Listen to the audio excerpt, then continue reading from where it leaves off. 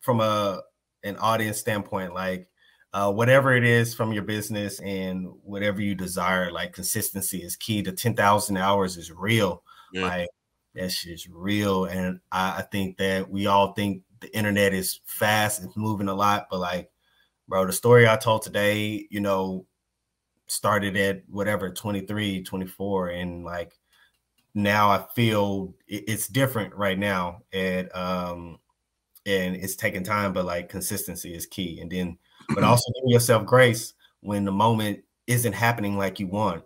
And it's okay to like look over to your right and left and see what the homie's doing, but yeah. don't get stuck on it because the way the plan is set up, it's so tailored to you. Mm. Like you can't even compare what is happening in the other lanes. If you do, like you will fall and you will you will trip and you're gonna get left behind because you like try to compare your story to their story. And not to be cliche, but like it is customized for you. Like yeah the dream and whatever you desire.